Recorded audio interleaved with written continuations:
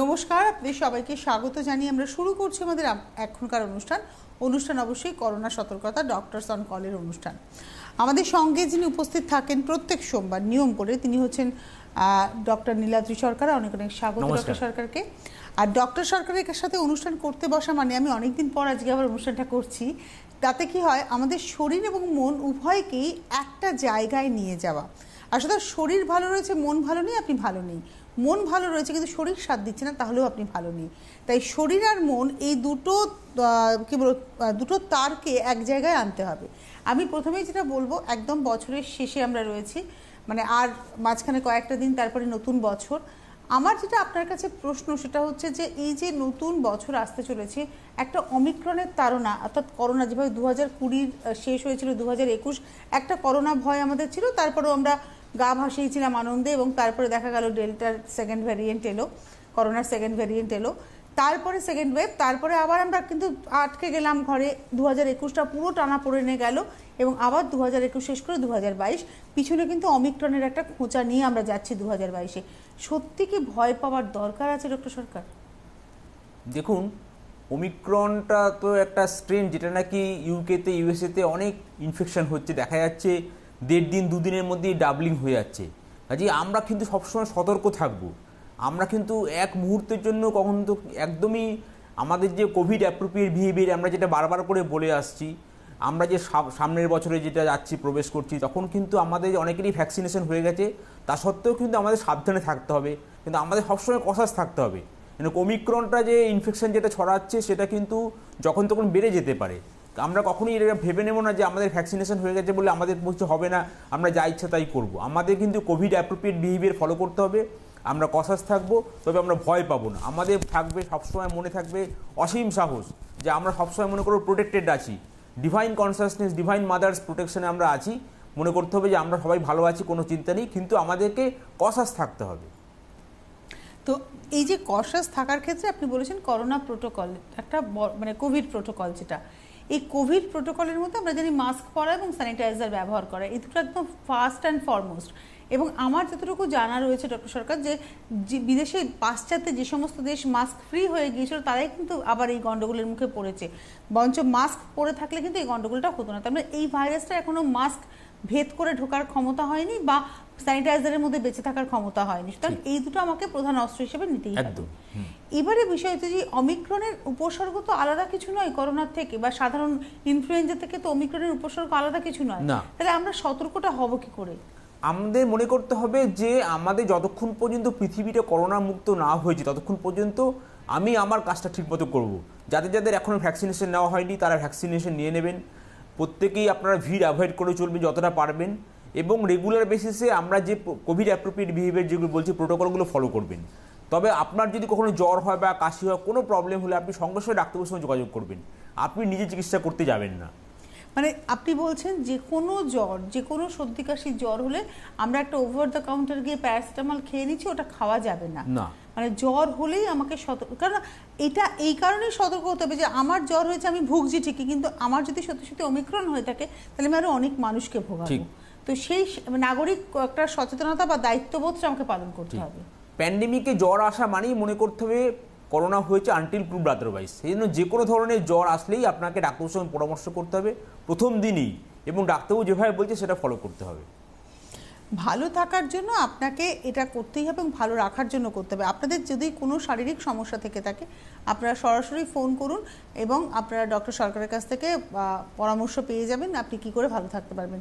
এই মুহূর্তে আমাদের ভারতবর্ষের অমিক্রণের সিনারিটা তো সেরকম আহামরি কিছু নয়। পশ্চিমবাংলা সেখানে এখনও পর্যন্ত অনেকটাই সচেতন রয়েছে। কদিন আগে শুনছিলাম সাত বছরের একটি বাচ্চা রয়েছে। আমার মনে হয় ব্যাপারটা আন্ডার কন্ট্রোল হয়ে রয়েছে তো তারপরেও আমাদের আরেকটু সতর্ক থাকতে হবে। এই যে একটা ওষুধ খাওয়ার প্রবণতা ডক্টর সরকার আমরা কথায় কথায় ওষুধ খেয়ে নিচ্ছি। মাথা ব্যথা হচ্ছে ওষুধ খাচ্ছি। গ্যাস হচ্ছে ওষুধ- খাচ্ছি।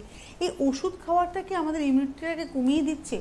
বহু মানুষ এমন আছেন যে বছরের পর বছর হয়তো কোনো রকম অ্যান্টাসিড খেয়ে যাচ্ছেন এটা কিন্তু একদমই করা ঠিক না। আপনারা মনে রাখবেন, আমাদের সবসময় মনে রাখতে হবে যে, আমরা যদি ব্যালেন্স লিভিং আমরা যদি সবসময় একটা ডিসিপ্লিন লাইফ ফলো করি, তাহলে কিন্তু আমাদের কোনো ভিটামিন কিছুই দরকার হবে না। আমরা রেগুলার বেসিসে হাঁটাচলা করব, যোগ প্রাণায়াম করব রেগুলার বেসিসে তাহলে দেখবেন আমাদের আর কোনো ওষুধ লাগছে না। আর ওষুধ যদি কিছু লাগে, সেটা ডাক্তারবাবু যেটা আপনাকে প্রেসক্রাইব করবেন, আপনি সেটাই খাবেন। ওভার দ্য কাউন্টার আপনি যখন তখন আপনি কোনো ওষুধপত্র খাবেন না। অনেক সময় দেখা যাচ্ছে, অনেকে হয়তো জ্বর হচ্ছে, একটা অ্যান্টিবায়োটিক খেয়ে বন্ধ করে দিচ্ছেন। এর ফলে কি হচ্ছে? এখন ধরুন একটা করোনা ভাইরাস একটা এসছে, তার ফলে একটা প্রবলেম হচ্ছে। কিন্তু যদি বাই চান্স এরকম হয় যে সমস্ত অ্যান্টিবায়োটিকের রেজিস্ট্যান্স হয়ে যাচ্ছে আস্তে আস্তে দেখা যাচ্ছে, তাহলে কিন্তু সেটা বিপদ আরও বেশি বেড়ে যাবে। সেই জন্য আপনারা মনে রাখবেন, আমরা ওভার দ্য কাউন্টার ওষুধ খাব না, যা কিছু খাব ডাক্তারবাবু পরামর্শ মতো খাব এবং ডাক্তারবাবু যেভাবে বলবে সেভাবে ফলো করে যাব। আমি এবার একটু অমিক্রণ থেকে বেরিয়ে একটা অন্য প্রশ্ন, আমার খুব করতে ইচ্ছে করছে আপনাকে। যেহেতু আপনি বহু মানুষ, বহু পেশেন্ট দেখেন সব রকমের রুগী, যেহেতু আপনি মেডিসিন নিয়ে আপনার পথ চলা, তো সব রকমের রুগীকে আপনাকে হ্যান্ডেল করতে হয়। সেটা কোনো ক্রনিক প্রবলেম হতে পারে বা যেমন ব্লাড সুগার হতে পারে থাইরয়েড হতে পারে, সব রকমের পেশেন্ট দেখেন। এই যে আমাদের হাইপার টেনশন বলুন থাইরয়েডের সমস্যা বলুন, আজকাল সিস্টের সমস্যা মহিলাদের এবং তার সঙ্গে সঙ্গে ব্লাড সুগারের সমস্যা, এগুলো কি খানিকটা আমাদের লিভিংটা ভালো নয় ফুড হ্যাবিটসটা ভালো নয়? এটার কারণ বা আমাদের ভারতবর্ষের সবজির ক্ষেত্রে বা ফল ক্ষেত্রে মানে উৎপাদন ভেজিটেবলসের ক্ষেত্রে পেস্টিসাইডের এই পরিমাণ ব্যবহার, এটা একটা কারণ। কোন কারণটাকে আমি ধরবো? আমাদেরকে মেইন জোর দিতে হবে আমাদের ফুড হ্যাবিটস এবং আমাদের রেগুলার ব্যায়াম। আমরা যদি রেগুলার বেসিসে আমরা পরিমাণ মতো খাই, অল্প করে খাই ব্যালেন্স ডায়েট খাই, আমরা যদি রেগুলার বেসিসে ব্যায়াম করি, আধ ঘণ্টা হাঁটি, হাঁটাচলা করি, যোগ প্রাণায়াম করি আমরা যদি ওয়েট সম্বন্ধে সচেতন থাকি, আমরা যদি নিজেদের সুগার প্রেশার ঠিকমতো কন্ট্রোলে রাখি, তাহলে কিন্তু আমাদের অনেকেই ভালো থাকব। কেন আমাদেরকে মেইনলি যেটা করতে হবে, এই যে নন কমিউনিকেবল ডিজিজ যেরকম ডায়াবেটিস হাইপারটেনশন ওবেসিটি ডিসলিপিটিমিয়া এগুলোকে প্রিভেন্ট করতে হবে। যদিও আমরা জেনেটিক্যালি সাউথ ইস্ট এশিয়ার মানুষ আমাদের অনেক প্রোন যে আমাদের হবার সংখ্যা অনেক বেশি ডায়াবেটিস হওয়ার সম্ভাবনা অনেক বেশি আমাদের হাইপারটেনশন হওয়ার সম্ভাবনা বেশি। আমি এটার কারণটা জানতে চাইছি এটা কি খানিকটা আমাদের লিভিংটা ভালো নয় আমাদের খাওয়া দাওয়াটা ভালো নয় নাকি আমাদের খাওয়া দাওয়াতে বিষ কন্টিনিউয়াসলি পেস্টিসাইড যুক্ত ধরুন ভেজিটেবলস খাচ্ছি আমি একটা ফুলকপি খাচ্ছি তাতেও পেস্টিসাইডস আমি যে চালটা খাচ্ছি তাতেও ইউরিয়া এই ধরনের কারণের জন্য কি আমাদের এই রোগ হওয়ার সম্ভাবনা এটা বেশি? এটা মাল্টিপল অনেক কারণ আছে। মানে একটা কারণে বলা যাবে না একটা কারণ হচ্ছে জেনেটিক জেনেটিক্যালি প্রিডিসপোজ ধরুন আমাদের আমাদের যে প্যারেন্টস তাদের হয়তো ডায়াবেটিস ছিল তাদের হাইপারটেনশন ছিল সুগার ছিল তার ফলে কি হচ্ছে নেক্সট জেনারেশন হওয়ার সম্ভাবনা বেড়ে যাচ্ছে। তারপরে হচ্ছে আমাদের যে এনভায়রনমেন্ট এন্ডার পলিউশন এবং এই যে পেস্টিসাইডস এই সবগুলো মিলেই কিন্তু প্রবলেমটা হচ্ছে। কিন্তু যেগুলো যেগুলো প্রবলেমগুলো আমাদের হাতের মধ্যে নেই সেগুলো থেকে আমরা কিছু করতে পারব না। আমাদের হাতের মধ্যে কোনটা আছে? আমাদের হাতের মধ্যে আছে আমাদের নিজেদের ফুড হ্যাবিটস এক্সারসাইজ এবং আমাদের থিঙ্কিং থিঙ্কিং প্যাটার্ন আমরা যদি সবসময় কন্টিনিউয়াস থিঙ্কিং প্যাটার্নের সঙ্গে শরীরের সম্পর্কটা কীভাবে যুক্ত হচ্ছে? থিঙ্কিং প্যাটার্নের সঙ্গে সম্পর্ক হচ্ছে আমরা যখনই একটা পজিটিভ চিন্তা করব তখনই আমাদের শরীরে এন্ডরফিনস এবং অন্যান্য পজিটিভ যে হরমোনসগুলো সেগুলো লিবারেটেড হবে। স্ট্রেস হরমোনটা কমে যাবে। যখনই স্ট্রেস হরমোন স্টেরয়েড এবং আদার স্ট্রেস হরমোনসটা কমে যাবে, তখনই কি হবে? আমাদের যে ইমিউনিটিটা অনেক বেড়ে যাবে। তার ফলে কি হবে? চট করে আমাদের হাইপারটেনশন ডায়াবেটিস অন্যান্য রোগ হওয়ার সম্ভাবনা অনেক কমে যাবে। দেখবেন যারা রেগুলার বেসিসে যোগ প্রাণায়াম করেন রেগুলার বেসিসে ফুড হ্যাবিটস মেনটেন করেন, তাদের মধ্যে কিন্তু চট করে কিন্তু অসুখ হচ্ছে না। এই জ্বরও হচ্ছে না, কোনো প্রবলেম হচ্ছে না, তারা কিন্তু ভালো থাকছেন। সেই জন্য এমনভাবে করতে হবে, ছোটোবেলা থেকেই এটা শুরু করতে হবে রেগুলার বেসিসে আমাদের যেরকম ছোটোবেলা থেকে একটা এডুকেশনের মধ্যে দিয়ে আমরা যাচ্ছি, সেটা মেনলি আমরা ফিজিক্যাল এডুকেশনটা মেনলি ফলো করছি। কিন্তু তার সঙ্গে সঙ্গে আমাদের একটা মেন্টাল হেলথ একটা স্পিরিচুয়াল হেলথ এই অলরাউন্ড ডেভেলপমেন্টের কথা চিন্তা করতে হবে, এবং ছোটোবেলা থেকেই সেটা শুরু করতে হবে। একবারে ধরুন ওয়েট বেড়ে গেলে কিন্তু কমানো খুব মুশকিল হয়ে যায়, বা একবার একটা বয়স হয়ে পরে কিন্তু তখন আবার প্র্যাকটিস করাও মুশকিল হয়ে যায়। সুতরাং আমাকে গ্র্যাজুয়ালি নিজেকে ভালো রাখার পথে হাঁটতে হবে। এবারে আসছি মেন্টাল হেলথের কথা। ফিজিক্যাল হেলথের জন্য আপনারা রয়েছেন, ওষুধ দিচ্ছেন, আমরা ওষুধ খেয়ে হয়তো সুস্থ হয়ে যাচ্ছি। কিন্তু মেন্টাল হেলথের জন্য। আমরা কি মানে একটা হচ্ছে মানসিক সমস্যা হচ্ছে আমরা মনোরোগ বিশেষজ্ঞের কাছে যাচ্ছি। কিন্তু মানসিক সমস্যাটা তো সমস্যা নয়। আমি ভালো নেই মানেই আমার মনের রোগ হয়েছে তা নয়। আমি সাময়িকভাবে ভালো নেই। নিশ্চয়ই তার পিছনে অন্য কোনো কারণ থাকতে পারে। তো এক্ষেত্রে মেন্টাল হেলথের ডেভেলপমেন্টটা মনে হয় ভীষণ জরুরি। হ্যাঁ মেন্টাল হেলথ মানে কি আমাদের মনটাকে দেখতে হবে যে অ্যানালিসিস করতে হবে ইন্ট্রোস্পেকশন করে। যে আমি আমার মধ্যে ফিলিংটা কেমন হচ্ছে? আমি কি সবসময় ডিপ্রেসড হয়ে আছি? আমার কি কোনো কিছু ভালো লাগছে না? দেখবেন, আপনি যদি দেখেন যে আপনার হয়তো দেখবেন সকালবেলা ঘুম থেকে উঠি আর কিছু ভালো লাগছে না হয় একটু শুয়ে থাকছি হ্যাঁ সবসময় মনটা যেন খারাপ লাগছে। তার মানে বুঝতে হবে যে একটা ডিপ্রেশন কাজ করছে। এই ডিপ্রেশনটা দুরকমভাবে হতে পারে একটা এন্ডোজেনাস ডিপ্রেশন একটা এক্সোজেনাস ডিপ্রেশন এন্ডোজেনাস মানে কোনো, তার কোনো কারণ নেই। আর এক্সোজেনাস মানে তো কোনো কারণ, ধরুন কারোর কিছুটা লস হয়েছে, কেউ হয়তো মারা গেছেন, কিছুটা প্রবলেম হয়েছে। যে কারণেই হোক না কারণ ডিপ্রেশনটা সেটা কিন্তু কাটিয়ে উঠতে হবে আস্তে আস্তে। কেননা মনটা যখনই আমাদের খারাপ লাগবে, তখনই কিন্তু আমাদের শারীরিকও বিভিন্ন সমস্যা শুরু হবে। এবারে আসি এই মেন্টাল হেলথ ভালো রাখার প্রসিডিয়ার কি কি? মেন্টাল হেলথ ভালো রাখার প্রসিডিওর হচ্ছে আমাদেরকে নিজেদেরকে ডিসিপ্লিনের মধ্যে ফেলতে হবে। এর বাইরে কিন্তু কোনো রাস্তা নেই। আমরা যদি রেগুলার বেসিসে ডিসিপ্লিন লাইফ না লিড করি, তাহলে কিন্তু আমরা কখনোই করতে পারি যেমনি ধরুন, আপনি কখনোই দুটো নৌকায় যেতে পারবেন না। আপনাকে যে কোনো একটা বেছে নিতে হবে। কাজে আপনি যদি মনে করেন যে, আমি রেগুলার খাব রেগুলার লাইফস্টাইল ফলো করব, আমার মেন্টাল হেলথ ভালো থাকবে, সেটা কখনো হতে পারে না। আপনাকে ঠিক করতে হবে যে আপনার গোলটা কি সেই অনুযায়ী আপনাকে কিন্তু এগোতে হবে আস্তে আস্তে অল্প অল্প স্টেপ নিয়ে। ধরুন একটি আপনি স্টেপ নিলেন যে আমি আজকে সকালবেলা উঠবো সকালবেলা ঘুম থেকে উঠে আমি আধ ঘণ্টা হাঁটবো তারপর আমি একটু দশ মিনিট যোগ প্রাণায়াম করব। এইভাবে আপনি স্টেপ বাই স্টেপ অল্প অল্প করে স্টেপ নিন এবং সেটা প্র্যাকটিস করতে থাকুন রেগুলার বেসিসে তাহলেই দেখবেন আস্তে আস্তে আপনার মনটা অনেক ভালো থাকছে। মানে বিশেষ করে হাই প্রেশারের ক্ষেত্রে হাই ব্লাড সুগারের ক্ষেত্রে এই যোগ প্রাণায়ামের একটা বড় ভূমিকা রয়েছে। বিরাট ভূমিকা আছে যোগ প্রাণায়ামের বিরাট বড় ভূমিকা আছে। মানে আমাদের যে ধরুন এই যে চক্র রয়েছে, এই যে চক্রের সঙ্গে কি এই রোগের কোনো সম্পর্ক রয়েছে? মানে এই চক্রের যে হরমোনের সিক্রেশন সেই, তার, সেটাই কি রোগটাকে বাড়িয়ে দেয় বা কমিয়ে দেয়? হ্যাঁ আমাদের যে শরীরের মধ্যে যে এত ধরুন সেল আছে না সেলগুলো একটা হারমোনিয়াসলি ওয়ার্ক করছে। যখনই আমাদের মধ্যে এরকম অ্যাংজাইটি স্ট্রেস হয়ে যাচ্ছে, তখন সেল টু সেল যে আমাদের টক হচ্ছে ক্রস টক হচ্ছে, সেটা তখন নেগেটিভ সিগন্যাল পাঠাচ্ছে। তার ফলে কী হচ্ছে, আমাদের বিভিন্ন রকম যে আমাদের ইনফ্লামেশন হচ্ছে। বেসিক্যালি ইনফ্লামেশন হওয়ার ফলে কি হচ্ছে? একটা এন্ডোথিলিয়াল ইনফ্লামেশন হয়ে গিয়ে আমাদের ব্লাড প্রেশারটা বেড়ে যাচ্ছে ডায়াবেটিস হচ্ছে, বিভিন্ন রকম প্রবলেম হচ্ছে। এই ইনফ্লামেশনটা কমানোর জন্য আমাদেরকে একটা ব্যালেন্স লাইফ লিড করতে হবে। তাহলে আমাদের শরীরে ইনফ্লামেশনটা অনেকটা কমবে এবং আমাদের ইমিউনিটি অনেকটা বাড়বে এবং প্রবলেমটা অনেকটা কমে যাবে। এবং আপনি খুব সুন্দর করে বললেন যে প্রথম থেকে একটা একটা একটু একটু করে এগোনো। মানে আমি প্রথম দিনই একদম আধ ঘণ্টা ধ্যানে বসে যাব এটা ব্যাপারটা সম্ভব নয়। কারণ মনটাকে কনসেন্ট্রেট করতে গেলে আমাকে স্টেপ বাই স্টেপ এগোতে হবে। এবং প্রত্যেকটা স্টেপে স্টেপকে অন্তত সাত দিন করে প্র্যাকটিস করতে হবে তাই নয় কি? একদম তাই। আমাদেরকে যা কিছু করতে হবে আমাদের একটা মাইন্ডটাকে ফার্মলি ইয়ে করতে হবে যে আমি এটা প্র্যাকটিস করবই।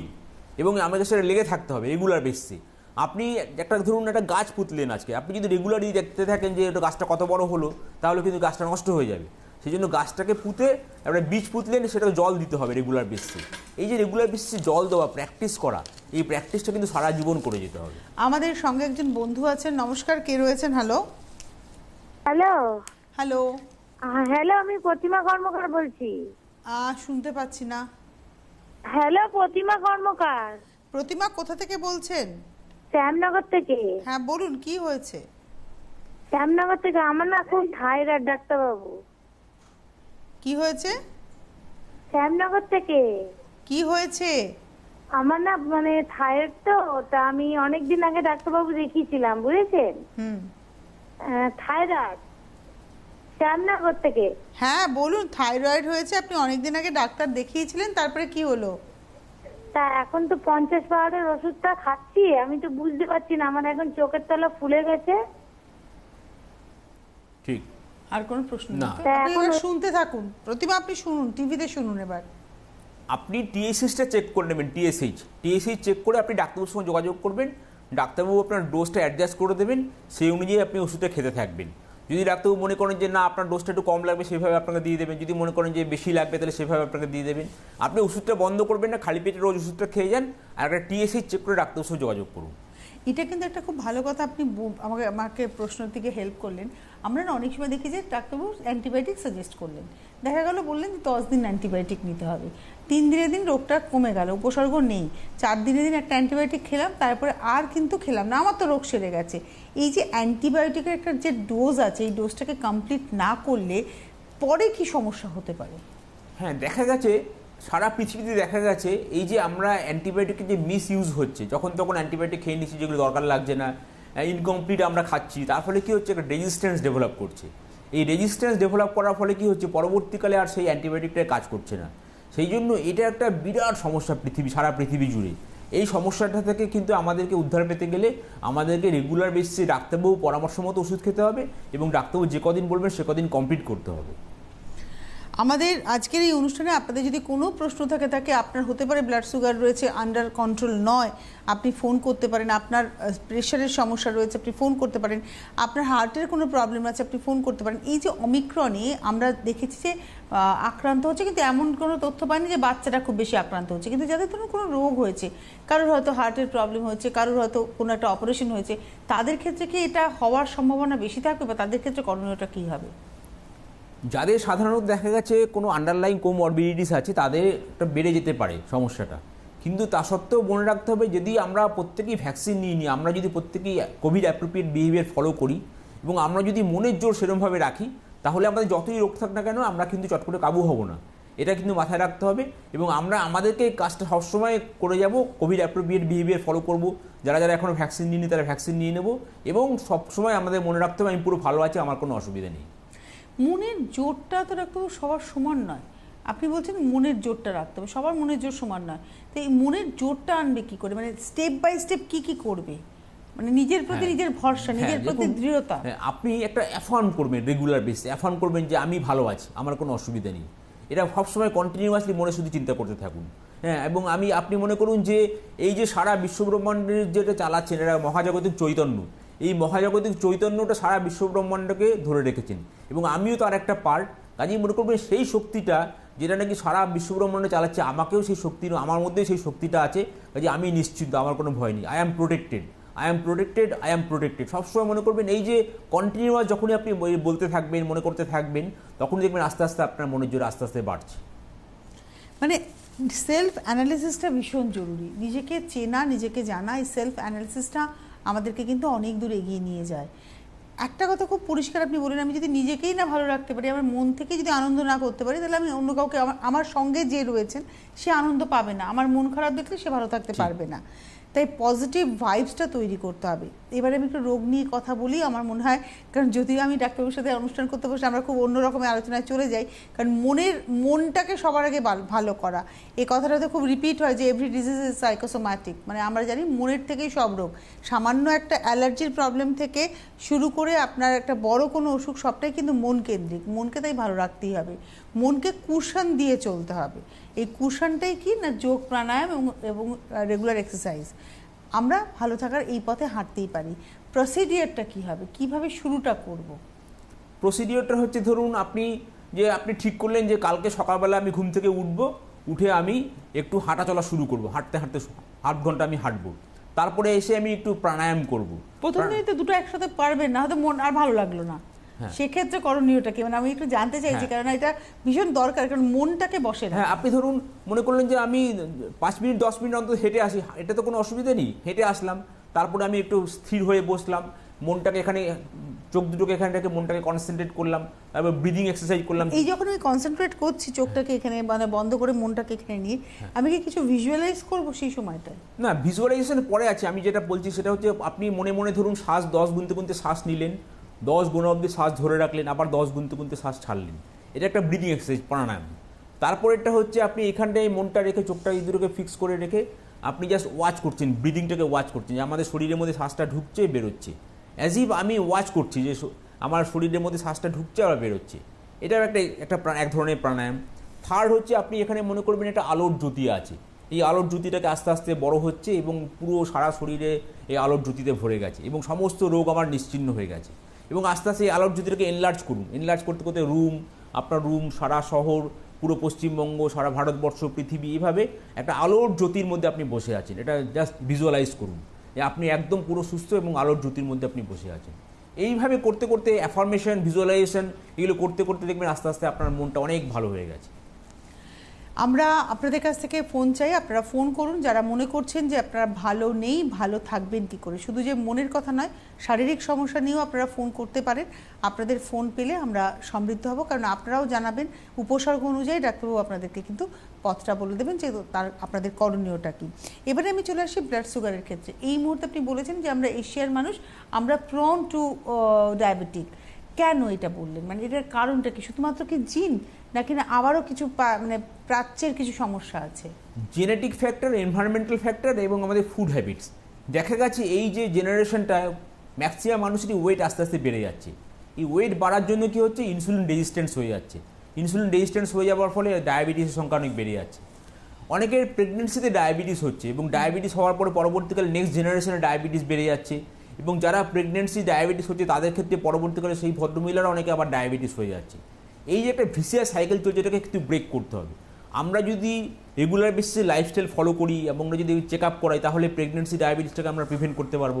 যখনই প্রেগনেন্সি ডায়াবেটিসটাকে আমরা প্রিভেন্ট করতে পারব, তখন আমাদের নেক্সট জেনারেশন ডায়াবেটিসটাকে আমরা প্রিভেন্ট করতে পারব। শুরু করতে হবে নিজেকে দিয়ে। আমার নিজের শরীরটাকে যেন আমি ঠিকমতোভাবে রাখতে পারি, আমি যেন রেগুলার চেক আপ করাই, আমার যেন ওয়েটটা কন্ট্রোলে থাকে। আমার প্রেগনেন্সি আসার আগে আমি ভালো করে দেখে নিতে হবে যে আমার ডায়াবেটিস আছে কি না ডায়াবেটিস যদি আসে বাই চান্স তাহলে ডায়াবেটিসটাকে কন্ট্রোল করা।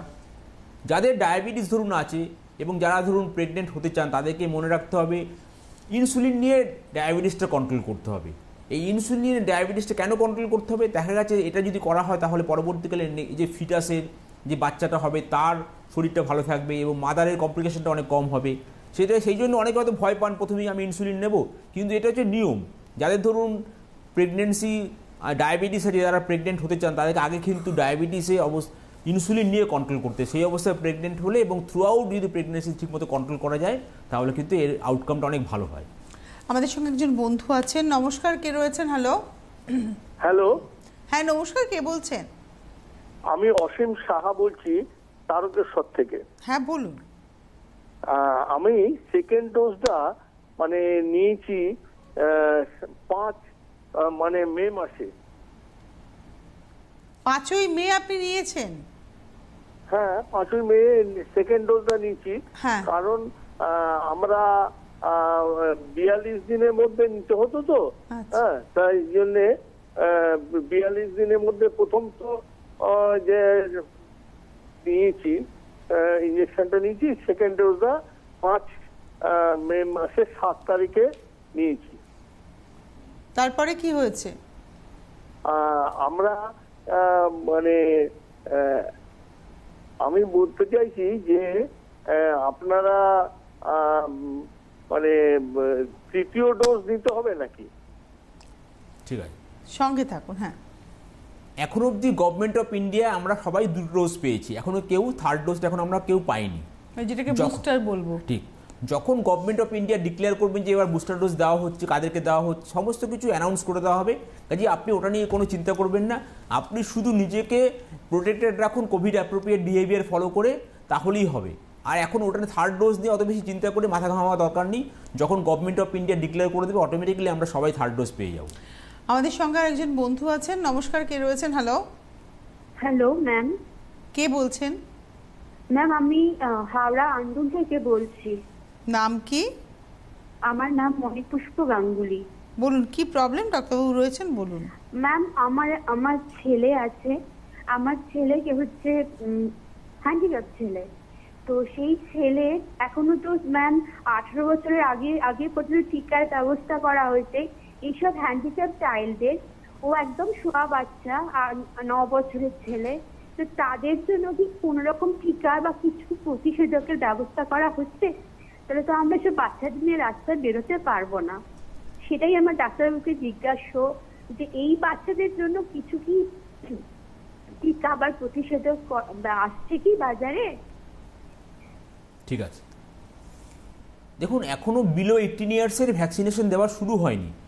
যখনই বিলো এইটিন ইয়ার্সের ভ্যাকসিনেশন দেওয়া হবে, তখনই যেভাবে গভর্নমেন্ট গাইডলাইন ছাড়া তো কিছু করা যাবে না। কাজে এখন আপনি যতটা পারেন বাচ্চাকে প্রোটেক্টেড রাখুন। কোভিড অ্যাপ্রোপ্রিয়েট বিহেভিয়ার ফলো করে হ্যাঁ যখনই দেখবেন গভর্নমেন্ট ডিক্লেয়ার করে দেবে তাদের সঙ্গে কোন গ্রুপ তাদের কী কী প্রবলেম আছে সেই অনুযায়ী যেভাবে বলা হবে সে তখনই ভ্যাকসিনটা পেয়ে যাবেন। যতদিন না পর্যন্ত ভ্যাকসিনেশন ডিক্লেয়ার হচ্ছে ততদিন পর্যন্ত আমাদেরকে কোভিড অ্যাপ্রোপ্রিয়েট বিহেভিয়ারটা ফলো করে যেতে হবে।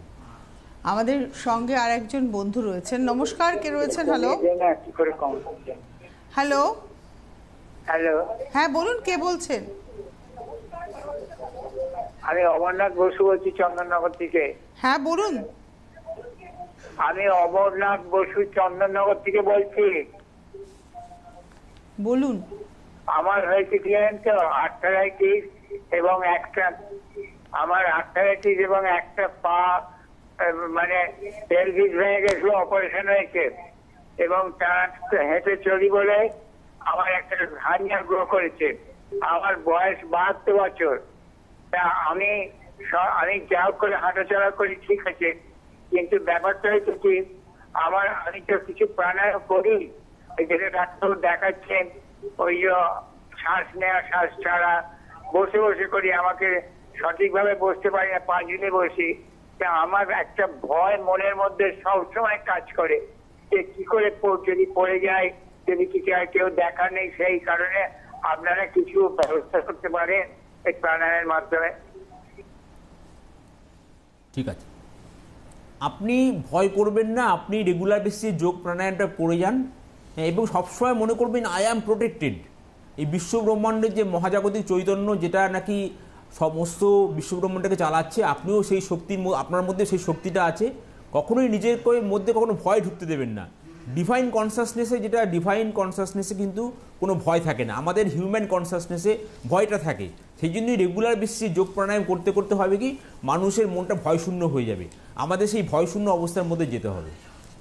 এবারে আমরা যেটা আলোচনা যাব, আমরা সরাসরি এবারে যেটা যাব, একটু রোগ নিয়ে কথাতে যাব। আপনি বললেন ডোজের কথা ওমিক্রনের একজন বললেন সেকেন্ড ডোজের কথা বুস্টার ডোজের কথা। ডাক্তারবাবু এই যে আমাদের ডোজ নেওয়া রয়েছে, আমি এই প্রসঙ্গে একটা অন্য জায়গায় আসি। কদিন আগে আমি বেশ কয়েকদিন আগে, মাস দেড় দুই আগে একটি জার্নালে দেখছিলাম, তাতে হুয়ের একজন ডাক্তার বলেছেন যে, বিজ্ঞানী তিনি বলছেন যে, আমাদের আশঙ্কা ছিল ভারতবর্ষে এটা একটা সিভিয়ার ব্যাপার হবে। কিন্তু দেখা গেল অন্যান্য দেশ, বিশ্বের প্রথম সারির দেশগুলোর স্বাস্থ্য ব্যবস্থা ভেঙে পড়ল, অথচ ভারতবর্ষে সেই হারে করোনা কিন্তু থাবা বসাতে পারল না। ভারতবর্ষে যেটা হয়েছে লকডাউনের জন্য অর্থনীতি ধসে গেছে। কিন্তু মানুষের স্বাস্থ্য, মানুষের মানে মৃত্যুর হার করোনায় আক্রান্তের হারের তুলনায় কিন্তু নগণ্যই এর পিছনে কারণ হচ্ছে ভারতবর্ষের স্লাম এরিয়া এবং ভারতবর্ষের মানুষের পলিউশনকে সঙ্গে নিয়ে চলা। বলছে ভারতবর্ষের মানুষ এত বেশি পলিউশনকে সঙ্গে নিয়ে চলে, যার ফলে ওরা হার্ড ইমিউনিটির অধিকারী। যার ফলে করোনা কেন কোনো রোগী ওদের ক্ষেত্রে খুব একটা এফেক্টিভ নয়। সেক্ষেত্রে দাঁড়িয়ে এটা তো একটা পজিটিভ কথা, কিন্তু তার মধ্যে নেগেটিভিটি রয়েছে পলিউশন তো আমাদের ডায়াবেটিসের ক্ষেত্রে কি এটা আবার ক্ষতিকর হতে পারে যে এই সুগারটা চলে আসছে? মানে এই টেনশন স্ট্রেস ভালো থাকা, ভালো থাকছি না, তার জন্যও কি ডায়াবেটিসের একটা সমস্যা হতে পারে? যেহেতু এটা একটা মানে মরকের মতো তৈরি হয়েছে। আমি এটা, আমি বলছি দু দুই সাল, তিন সালে যখন আমি অনুষ্ঠান করতাম, তখন ডাক্তারবাবুরা বলতেন, আগামী দশ বছরে এটা প্রত্যেকটা ঘরে ঘরে একজন মানুষের হবে। হুম, দেখুন ডায়াবেটিসটা কিন্তু আমাদের সারা পৃথিবীর মধ্যে প্রায় ভবিষ্যতে ক্যাপিটাল অফ ডায়াবেটিস হয়ে যায় ভারতবর্ষ। সেই জন্য আমাদেরকে ডায়াবেটিসটাকে প্রিভেন্ট করতে হবে। ডায়াবেটিসটা প্রিভেন্ট করবার মেইন উপায় হচ্ছে আমরা সবসময় কিন্তু সতর্ক থাকব এবং আমরা রেগুলার আমাদের ফিজিক্যাল চেক আপ করাবো তাদের আমাদের ডায়াবেটিস আছে কিনা আমাদের চেক করাবো, আমরা হাঁটাচলা করব আমরা যোগ প্রাণায়াম করব, এইটা করলেই কিন্তু আমরা ডায়াবেটিসটাকে প্রিভেন্ট করার চেষ্টা করতে হবে। আর যাদের যাদের ডায়াবেটিস হয়ে গেছে, তাদের ডায়াবেটিসটা পুরো কন্ট্রোলে রাখতে হবে, যাতে ডায়াবেটিসের কমপ্লিকেশনসটা অনেক কম হয়। কেন ডায়াবেটিস মাথা থেকে পা পর্যন্ত সমস্ত জায়গায় প্রবলেম করতে পারে। Stroke heart attack kidney failure হয়ে যেতে পারে নার্ভ ড্যামেজ হতে পারে চোখ মানে নষ্ট হয়ে যায়। ডায়াবেটিসটা একটা উপসর্গ যেটা সারা শরীরটাকে নষ্ট করতে পারে। এবার ধরুন ডায়াবেটিস যাতে না হয় তার জন্য করণীয় কি? আর ডায়াবেটিস যদি হয় তার জন্য আমাদের কি করণীয় হবে? আগে যদি না হয় যদি আমি প্রিভেন্ট করতে চাইব তাহলে আমি করবোটা কি? আচ্ছা তার আগে আর একজন বন্ধু আছেন নমস্কার কে রয়েছেন? হ্যালো ম্যাম আমি ধম- ত্রিপুরা আগরতলা থেকে ধর্মনগর থেকে কথা বলছি। হ্যালো হ্যালো ম্যাম আমি ধর্ম- ধর্মনগর থেকে কথা বলছি ত্রিপুরা। ত্রিপুরার নাম কি আপনার? প্রমিতা শীল। বলুন কি হয়েছে প্রমিতা? ম্যাম আমি তো স্যারের সাথে কথা বলব। হ্যাঁ বলুন। হ্যাঁ আমার একটু হার্টের প্রবলেম আছে এবং শ্বাসের টান আছে অ্যালার্জির প্রবলেম আছে। আমি প্রথম ডোজটা নিয়ে নিয়েছি। আমার কি সেকেন্ড ডোজ নিলে কোনো প্রবলেম হবে করোনা প্রথম ডোজটা নিয়েছেন তো? হ্যাঁ হ্যাঁ নিয়ে তো তখন কি প্রবলেম হয়েছিল নাকি? হ্যাঁ হয়েছিল। এর জ্বর তো এসেছিল শরীর সারা শরীর ব্যথা হয়েছিল শরীরটা ফুলে গিয়েছিল মুখটা ফুলে গিয়েছিল। তা আপনি প্রথম ডোজের পরে সেকেন্ড ডোজের টাইম এখনও হয়নি?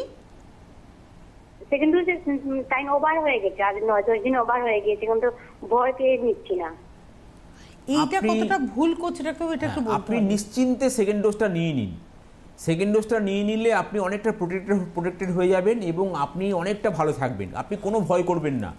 আপনার যদি ভয় হয়, তাহলে আপনি কোনো বড় জায়গায় গিয়ে মেডিকেল কলেজে গিয়ে বা ডিস্ট্রিক্ট হসপিটালে গিয়ে নিন, যেখানে ডাক্তারবাবুরা সবসময় আছেন, ওনারা আপনাকে আধ ঘণ্টা আপনাকে ওয়াচ করবেন, আপনার কোনো সমস্যা হচ্ছে কি না এবং তারপরে আপনাকে ছাড়বেন। কাজেই আপনারা যাদের মধ্যে এই মনে ভয়টা আছে, আমি সেকেন্ড ডোজ নেব কি না বা ফার্স্ট ডোজ নেব কি না এটা একদম দূর করে ফেলুন।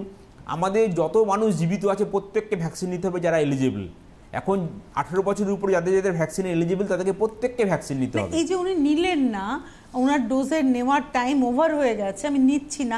এটাতেও তো আমরা ভুল করছি সমাজকে। হ্যাঁ এটাও ভুল করছি সেই জন্য আপনি আর বেশি দেরি না করে যেটা হয়েছে ঠিক আছে আপনি এবার এবার ভ্যাকসিনটা নিয়ে নিন। একটু পাঁচ সাত দিন আট দিন দশ দিন দেরি হলে কোনো অসুবিধা নেই এবার আপনি ভ্যাকসিনটা নিয়ে নিন। নমস্কার কে রয়েছেন? হ্যালো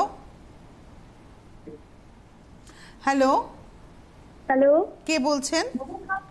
হ্যাঁ আমি মানসী রায় বলছি। কোথা থেকে মানসী? হ্যাঁ আমি বিরাটি থেকে বলছি বিরাটি কমল পার্ক। বলুন। বলছি আমি ডাক্তারবাবুকে ডাক্তারবাবুকে দেখিয়েছি। হ্যাঁ আমি Kamal park Birati Kamal park. Hello? হ্যাঁ বলুন। আপনি ডাক্তারবাবুকে দেখিয়েছেন? কি সমস্যা নিয়ে হ্যাঁ ডাক্তারবাবুকে আমার মাকে দিন নিয়ে দেখিয়েছি। মায়ের বয়সই সিক্সটি ইয়ার হুম। তো মায়ের প্রেশারটা উনি বলছেন রেজিস্ট্যান্ট হয়ে গেছে কিন্তু আমি সব রকম ওষুধই ট্রাই করছি ডাক্তারবাবু কিন্তু এখনও প্রেশার কোনোভাবেই কমছে না ডাক্তারবাবু। ওনার মায়ের তো চোখে স্ট্রোক হয়ে গেছে প্রেশারের জন্য কিন্তু চোখেরও ট্রিটমেন্ট করাতে পারছি না কিছুতেই প্রেশারটা কমছে না। ওনার কাছে আমি রেগুলারই ওনাকে মানে ওনার সঙ্গে কথা বলি মানে উনি আমাকে লাস্ট আট তারিখেও আমি ওনার কাছে গিয়েছিলাম। প্রেশারের যা যা ওষুধ দিয়েছেন উনি সাত রকমের ওষুধ খাচ্ছেন কিন্তু এখনও প্রেশারটা কমছে না নর্মালি আসছে না। ঠিক। প্রথমেই বলি রেজিস্ট্যান্ট হাইপারটেনশন আমরা কখন বলি? যখন আমাদের তিনটে ওষুধ দেওয়া হয়, তার মধ্যে একটা ডায়াবেটিক্স আছে, তা সত্ত্বেও যদি প্রেশার কন্ট্রোল না হয়, অথবা চারটে ট্যাবলেট খেয়েও যদি অ্যাডিকুয়েট ডোজে যদি কন্ট্রোল না হয়, তাকে বলি আমরা রেজিস্ট্যান্ট হাইপারটেনশন যাদের এরকম রেজিস্ট্যান্ট হাইপারটেনশন হয়, তাদেরকে আমরা আস্তে আস্তে বাড়িয়ে বাড়িয়ে আরও অন্যান্য ওষুধপত্র দিই। সেই জন্য একটু ফলো আপ করতে হবে এবং ধৈর্য ধরতে হবে, কেননা এই ব্যাপারটা এমনই একটা সমস্যা যেটা নাকি অনেকেরই এরকম রেজিস্ট্যান্ট হাইপারটেনশন আছে। এবং আস্তে আস্তে আমরা ডোজ বাড়িয়ে আস্তে আস্তে আমরা কন্ট্রোল করার চেষ্টা করি। সেটা আপনাকে ফলো করুন। আপনি একদম নিশ্চিন্তে থাকুন ব্লাড প্রেশার কন্ট্রোল হবেই। শুধুমাত্র সময় লাগবে কেননা আমরা ঝট করে তো আর সমস্ত ওষুধ দিতে পারি না। আমরা তিনটে ওষুধ দিলাম তারপরে ফোর্থ ওষুধ দিলাম তারপরে ফিফথ ওষুধ দিলাম। আমরা চেক করে করে আস্তে আস্তে আমরা ডোজটা বাড়াই। কাজেই কন্ট্রোল হবেই কোনো চিন্তা নেই। প্রেশারটাও কিন্তু একটা মানে সাইলেন্ট কিলার অবশ্যই না? মানে প্রেশার এই যে একটা আমি আসব এই প্রসঙ্গে। নমস্কার কে রয়েছেন? Hello hello hello. কে বলছেন? হ্যালো দিদি আমি সুমি রায় বলছি। কিচ্ছু না শুনতে পাচ্ছি না একটু জোরে কর- বলুন। হ্যালো। হ্যাঁ বলুন কে বলছেন? আমি বলছি আমি সুমি রায় বলছি দিদি কাকিনাড়া থেকে হ্যাঁ? হ্যাঁ বলুন আপনি টিভির আওয়াজগুলো না কমিয়ে টেলিফোনে কথা বলুন। তা নাহলে খুব দেরি হবে আমাদের খুব প্রবলেম হয় অনুষ্ঠান করতে। তো আমার থাইরয়েড আছে হ্যাঁ? আমি থাইরক্সিন টোয়েন্টি ফাইভটা খাই, আমার অল্প থাইরয়েড আছে। তো আমার একটাই প্রশ্ন, আমার একটা টেনশন কাজ করে ভিতরে যে থাইরয়েডটা আছে, আমি ওষুধটা রেগুলার সকালে খাই টোয়েন্টি ফাইভটা তা আমি বলি যে একজন সুস্থ মানুষের যদি ব্লাড প্রেশার না থাকে বা সুগার না থাকে বা কোলেস্টেরল না থাকে হ্যাঁ তাহলে কি তার কি হার্ট অ্যাটাক বা স্ট্রোক হওয়ার সম্ভাবনা থাকে? এইটাই আমার প্রশ্ন, হুম? ধন্যবাদ। আপনি, আমি যে প্রশ্নটা করতে যাব, আপনি ঠিক তার উল্টো প্রশ্নটা করেছেন যে যদি কোনো কিছু না থাকে তাহলে রোগ হওয়ার কি সম্ভাবনা আছে? তারপরেও কি আছে? আর আমার প্রশ্ন হচ্ছে যে এই বয়সটা মানে ধরুন পঁয়ত্রিশ থেকে পঞ্চাশ, এই বয়সটা আমার মনে হয় স্ট্রোকের জন্য বা সুগারের জন্য খুব প্রোন বয়স। মানে এই সময় মানুষের হঠাৎ করে জানা যায় যে অমুকের স্ট্রোক হয়েছে, অমুকের হার্ট অ্যাটাক হয়েছে, অমুকের সুগার হয়েছে। কারণটা কি, ডাক্তারবাবু? ফার্স্টে আপনাকে বলে দিই দেখুন, আপনার শুধু থাইরয়েড আছে তো, এটা নিয়ে আপনি একদম নিশ্চিন্তে থাকুন। থাইরয়েড শুধুমাত্র যদি থাইরয়েড থাকে, আপনার যদি সুগার প্রেশার না থাকে স্ট্রোক হওয়ার চান্স হার্ট অ্যাটাক হওয়ার চান্স একদমই কম। এটা সবসময় মনে রাখবেন এবং যাদেরকে এই যে এই যে পঁয়ত্রিশ থেকে পঞ্চাশ বা পঞ্চান্ন বছরের মধ্যে যাদের প্রবলেমটা হচ্ছে, তাদের ম্যাক্সিমাম ক্ষেত্রে দেখা গেছে, আমরা যেটা দেখেছি সেটা হচ্ছে তারা হয়তো প্রেশার ওষুধ খেতেন, খেতে খেতে বন্ধ করে দিয়েছেন। সুগারের ওষুধ খেতেন, খেতে খেতে বন্ধ করে দিয়েছেন। Uncontrol diabetes uncontrol hypertension obesity dyslipidemia high cholesterol level হয়তো কোলেস্টেরল লেভেল কোলেস্টেরল ওষুধটা বন্ধ করে দিয়েছেন। এটাই কিন্তু মেইন কারণ। অনেকে হয়তো সুগার কোনোদিন চেকই করাননি। তার ফলে হয়তো ফার্স্ট টাইম ধরা পড়ল তার ডায়াবেটিস নিয়ে ফার্স্ট টাইম তারা ধরা পড়ল ব্লাড প্রেশার বেড়ে গেছে স্ট্রোক হয়ে গেছে কিডনি খারাপ হয়ে গেছে। আমরা যদি রেগুলার বেসিসে খুব ইম্পর্টেন্ট ভেরি ইম্পর্টেন্ট প্রতি ছ মাস অন্তর বা এক বছর অন্তর আমি চেক আপ করব। ঠিক। আর যদি যদি কারোর সুগার এসে যায় তা বা প্রেশার এসে যায় তাহলে সে কতদিন অন্তর চেক আপ করবে? সেটা ডাক্তারবাবু ডিসিশন নেবেন। ধরুন আপনার দেখা গেল আজকে আপনার পাঁচশো ব্লাড সুগার এসে গেছে ফাস্টিং পোস্ট প্যান্ডিয়াল দেখা গেল ছশো এসে গেছে। এবার ডাক্তারবাবু আপনাকে গাইড করবেন যে আপনি কদিন পর পর আসবেন কী করবেন আপনি গ্লুকোমিটারে চেক করবেন ডাক্তারের সঙ্গে যোগাযোগ রাখবেন এইভাবে। কারণ আপনার যদি ডায়াবেটিসটা কন্ট্রোলে থাকে আমরা বলি আপনি তিন মাস পরে আসুন কি ছ মাস পরে আসুন সেটা আমরা বলি। কিন্তু যদি ডায়াবেটিসটা খুব বেশি থাকে বা ব্লাড প্রেশার খুব বেশি থাকে তাহলে আমরা ফ্রিকোয়েন্ট চেক আপের কথা বলি যতক্ষণ না পর্যন্ত এটা কন্ট্রোলে আসছে। একবার কন্ট্রোলে এসে গেলে আপনি তিন মাস ছ মাস পর পর ডাক্তারের সঙ্গে যোগাযোগ করলেই হবে। আচ্ছা এবারে আমাদের সঙ্গে আরেকজন বন্ধু আছেন। নমস্কার কে রয়েছেন? হ্যালো হ্যাঁ নমস্কার শুভ সন্ধ্যা তনুশ্রী। আমি তপন বংশমণি বলছি ত্রিবেণী থেকে। হ্যাঁ বলুন। হ্যাঁ আমার ডাক্তারের কাছে জানার ছিল যে করোনা একটি ডিএনএ ভাইরাস এবং ক্রমাগত মিউটেশন ঘটাচ্ছে। তো সম্প্রতি একটি দৈনিক পত্রিকায় যে শুনতে পেলাম দেখতে পেলাম যে অমিক্রণেই শেষ করোনা ভাইরাস। তো এই যে ক্রমাগত মিউটেশন ঘটাচ্ছে ভাইরাসটি এবং এই অমিক্রণ পর্যায়ে এসে তার কি বিলুপ্তি ঘটবে? না, এটা আরও মিউটেশন ঘটাতে ঘটাতে আমাদের কতদিন লাগতে পারে এটা নির্মূল হতে? করোনা ভাইরাস যে বিশ্ব থেকে নির্মূল হবে বা মানুষের রেজিস্ট্রেশন পাওয়ার তৈরি হয়ে এটা একেবারেই আমাদের সহ্যের মধ্যে চলে আসবে, সেটা কতদিন লাগতে পারে? এই প্রশ্নটার উত্তর এক্স্যাক্টলি কেউই বলতে পারবেন না।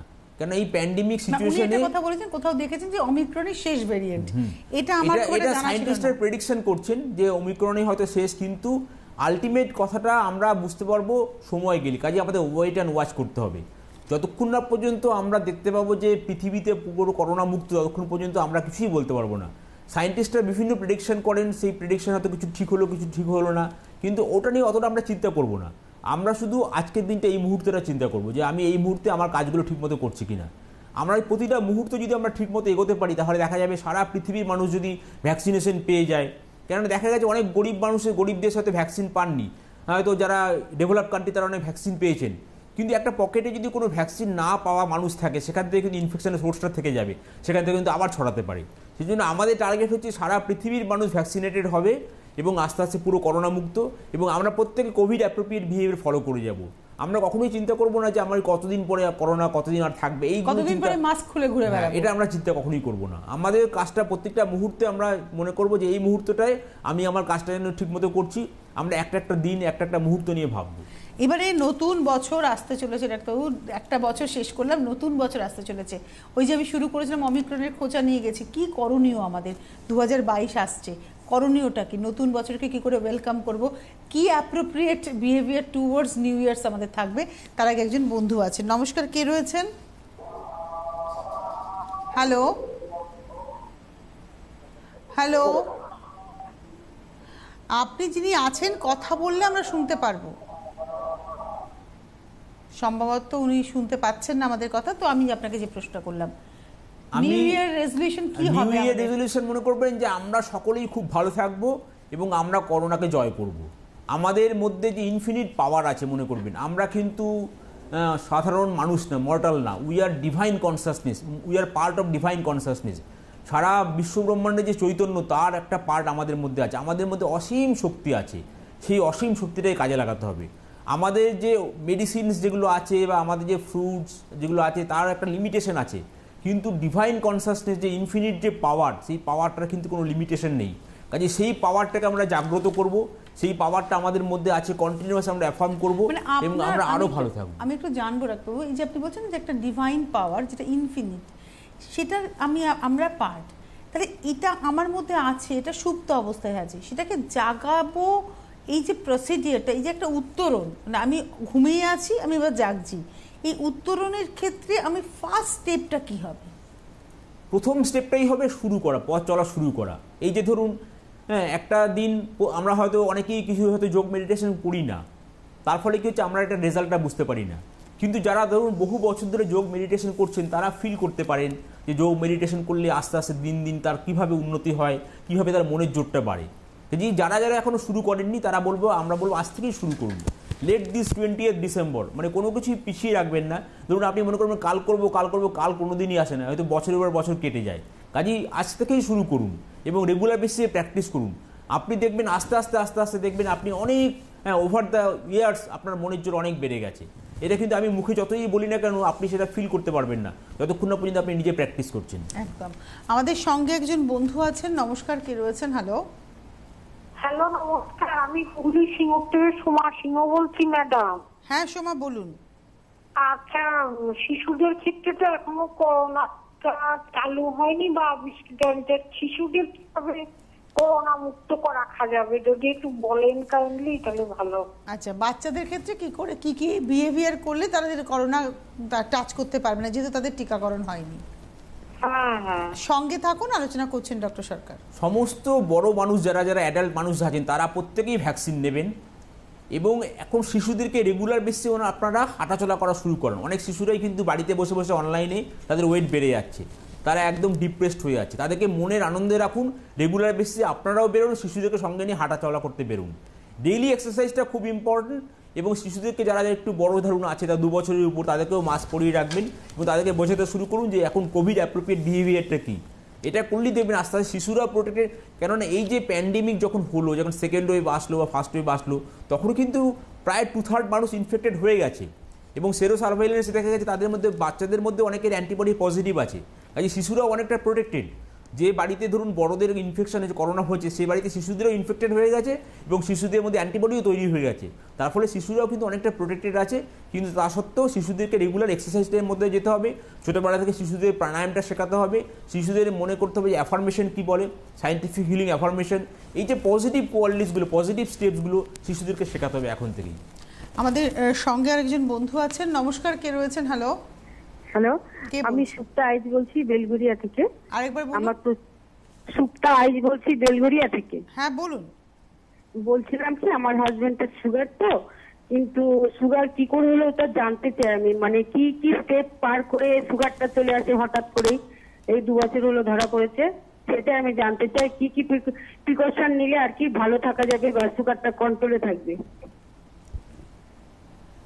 সুগার কন্ট্রোল করবার আচ্ছা আপনি না সঙ্গে থাকুন আর আপনার সঙ্গেই আমি একটা প্রশ্ন ডক্টর সরকারের কাছে করি যে প্রেশারের যেমন ওষুধটা শুরু করলে শেষ বন্ধ করা যায় না কোনো দিনই থামানো যাবে না সুগার এবং প্রেশার এবং কোলেস্টেরল সুগারের ক্ষেত্রে কি ওষুধ বন্ধ করা যেতে পারে যখন সুগার সুগার আন্ডার কন্ট্রোল থাকে? যখন সুগার কারও ধরা পড়ে আমরা সুগার কখন বলি? ডায়াবেটিস আমরা কখন বলি? যখন ফাস্টিং প্লাজমা গ্লুকোজ একশো ছাব্বিশের বেশি পোস্টপ্রান্ডিয়াল দুশোর বেশি এবং HB one C six point ফাইভের বেশি। এই তিনটে হলে তাহলে আমরা বলি ক্রাইটেরিয়া বলি ডায়াবেটিস তার ধরা পড়েছে। ধরুন কারোর ডায়াবেটিস ধরা পড়ল, ওনাকে আমরা প্রথমেই যেটা বলি, আপনি রেগুলার এক্সারসাইজ করুন, আপনি ডায়েট কন্ট্রোল করুন। অনেক মানুষ যারা ঠিকমতো ডায়েট কন্ট্রোল করে এবং এক্সারসাইজ রেগুলার করেন তাদের কিন্তু ওষুধের দরকারই হয় না। তারা ওষুধ ছাড়াই ভালো থাকেন। আবার যখন যাদের ধরুন ওষুধ দেওয়া হয়েছে, তাদেরকেও আমরা অনেক সময় দেখি হয়তো প্লাজমা গ্লুকোজ হয়তো কন্ট্রোলে আছে, খুবই কমে গেছে। পোস্টপ্যান্ডিয়ালেও কমে এসছে তাদেরকে আমরা বলি, ঠিক আছে, আপনি ওষুধটা বন্ধ করে আমরা দেখি, আবার এক মাস পরে দেখি প্লাজমা গ্লুকোজ কত আসছে। এইভাবে যে যতটা নিজেকে কন্ট্রোলে রাখতে পারবেন এক্সারসাইজ করতে পারবেন ডায়েট কন্ট্রোল করতে পারবেন তাদের কিন্তু অনেকেরই কিন্তু ওষুধ ছাড়াই ভালো থাকবেন। এটা আপনি ডাক্তারবাবু পরামর্শ ছাড়া আপনি কখনোই নিজে কিছু ডিসিশন নেবেন না এবং রেগুলার বেসিসে হাঁটা চলা এবং রেগুলার বেসিসে ডায়েট কন্ট্রোল এবং ওষুধপত্র ডাক্তারবাবু পরামর্শ মতো খেয়ে যেতে হবে। মাঝে মধ্যে এইচবি ওয়ানসি চেক করতে হবে। সুগার ধরা পড়লেই স্পট, ইউরিন, এসিআর করে দেখতে হবে যে তার ইউরিন অ্যালবুমিন বেরোচ্ছে কি না প্রতি বছর একবার করে চোখের ডাক্তারবাবুকে দেখাতে হবে তার চোখটা ঠিক আছে কি না তার পা সবসময় খেয়াল রাখতে হবে পাটা যেন care your food as your mouth অনেকেরই আমরা দেখি পায়ে ইনফেকশন হয়ে যাচ্ছে গ্যাংরিন হয়ে যাচ্ছে। কেননা পাটা ডায়াবেটিক নিউরোপ্যাথি হয়ে গেছে বলে।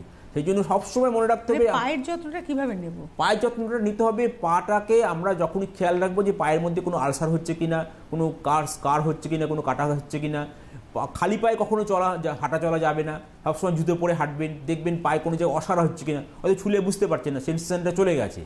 সেই জন্য এই যে ডায়াবেটিস যদি ঠিকমতো কন্ট্রোলে রাখি আমরা আমরা যদি ঠিকমতো হাঁটাচলাও করি এবং আমরা যদি মাঝে মধ্যে চেক আপ করাই যে ডায়াবেটিক নিউরোপ্যাথি হচ্ছে কিনা রেটিনোপ্যাথি হচ্ছে কিনা নেফ্রোপ্যাথি হচ্ছে কিনা এই আমাদের ইস্কেমিক হার্ট, হার্টে কোনো সমস্যা হচ্ছে কি না তাহলেই কিন্তু আমরা ভালো থাকব।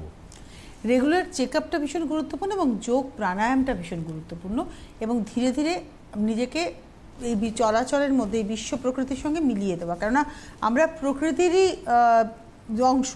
প্রকৃতি থেকে এসছে আবার প্রকৃতিতে মিলিয়ে যাওয়া তার কারণ আমাদের যখন মৃত্যু হয়, যেভাবে ক্রিমিশন হোক না কেন, কাউকে মাটিতে কবর দেওয়া হচ্ছে, কাউকে পুড়িয়ে দেওয়া হচ্ছে আলটিমেটলি কিন্তু নেচারের সঙ্গে মিশিয়ে দেওয়া। তার মানে প্রকৃতি, আমরা প্রকৃতির অঙ্গ প্রকৃতিতে মিশছি। বিষয় হচ্ছে আমরা প্রকৃতিকে অস্বীকার করি বেঁচে থাকতে গিয়ে। এই তাকে যখন আমরা ওভাররুল করছি, তখনই কিন্তু সেটা আমাদের কাছে ক্ষতি হয়ে দেখা দিচ্ছে। আজকে যখন ব্লাড সুগার হচ্ছে ব্লাড প্রেশার হচ্ছে, এগুলো কিন্তু প্রকৃতি আমাকে মানে বলা যেতে পারে শাস্তি দিচ্ছে। তো তখন কি করতে হবে? তাকে আমাদের ওবিডিয়েন্টলি বলতে হবে যে, আমি তোমাকে স্বীকার করছি, তোমার বর্ষদা, তুমি আমার উপরে কৃপা করো। এবং এইটাই যেটা আপনি বলেন যে ডিভাইন কনসিয়াসনেস তৈরি করা। নমস্কার, কে রয়েছেন? হ্যালো কোনো কারণে না ফোনটি আসছে না। আমার একটা লাস্ট প্রশ্ন ডাক্তারবাবুর কাছে যে, আমরা আধ্যাত্মবাদের কথা বলি তো? তো আধ্যাত্মবাদ, এই ঈশ্বরে বিশ্বাস আর ডিভাইন কনসিয়াসনেসে বিশ্বাস কিন্তু এক জিনিস নয় নাকি এক জিনিস? বেসিক্যালি আপনি ঈশ্বরে বিশ্বাস করুন বা না করুন আপনি নিজেকে বিশ্বাস করুন। নিজের মধ্যে যে চৈতন্য আছে সেই চৈতন্যটাকে বিশ্বাস করুন। নিজের মধ্যে যে পাওয়ারটা আছে সেই পাওয়ারটাকে বিশ্বাস করুন। আপনি রেগুলার নিজে জাস্ট সিম্পল প্রাণায়াম করুন যোগ প্রাণায়াম করুন কিচ্ছু বিশ্বাস করতে হবে না।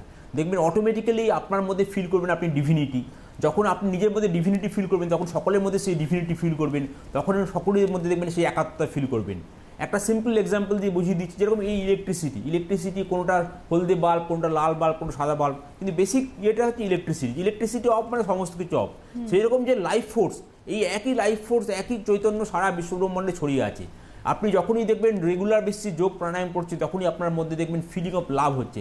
এই যে আনকন্ডিশনাল লাভ মানুষকে ভালোবাসা মানুষের জন্য উপকার করা আন প্রে করুন ডিপলি ইন্টেন্সলি প্রে করুন সকলের জন্য। এই করতে করতে আপনি ফিল করবেন যে আমি সকলের মধ্যেই আছি সবাই আমার মধ্যে আছে। বাহ। সকলের তরে সকলে আমরা প্রত্যেকে আমরা পরের তরে। অনেক ধন্যবাদ। আপনার নতুন বছর ভীষণ ভালো কাটুক ডক্টর সকলে সরকার ভালো কাটুন। আর আপনাদেরও প্রত্যেকে ভালো আর কাটুক অনেক ধন্যবাদ। ইন অ্যান অ্যাডভান্স আপনাকে happy new happy new year merry Christmas বিশেষ বিজ্ঞপ্তি, আসল AKG doctor plus hand sanitiser কিনুন। অসাধু ব্যবসায়ীদের থেকে দূরে থাকুন। Doctor plus sixty five by two MB road Kolkata fifty one doctor প্লাসের স্যানিটাইজার কেনার সময় এই ঠিকানাটি দেখে কিনুন। সুস্থ থাকুন, সাবধানে থাকুন।